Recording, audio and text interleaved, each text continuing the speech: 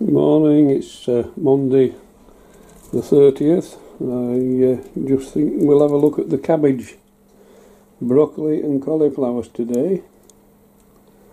On that side we've got uh, best of all cabbage and on this side we've got the uh, Durham Early and in the background there we've got lettuce.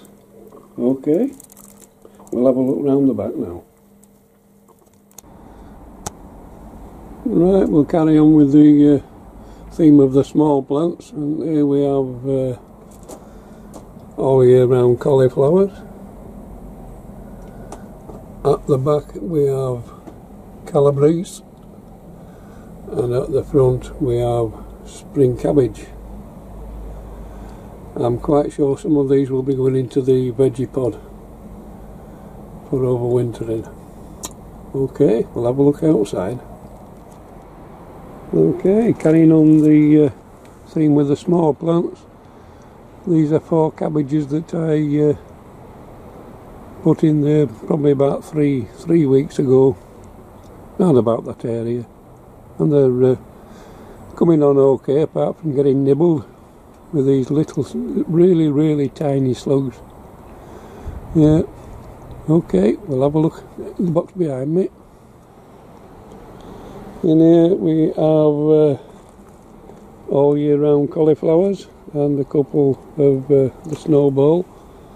And as you can see we're now starting to get uh, nice little heads on. There's one there and another one there.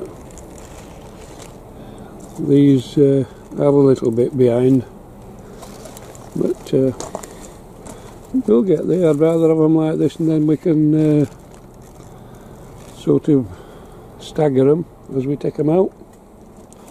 Okie dokie. Right, I've emptied the far box and uh, now they're all in here. We have one snowball cauliflower with a little head on we have uh, three spring cabbages. One two and one over the back there three. We've got the Savoy cabbages in here. Now I've only got two left out of what I think with five altogether. Um, we've ate, ate the leaves off the others and it was rather nice so nothing wasted. Then we've got uh, calabrese with nice little heads on. One, two, three.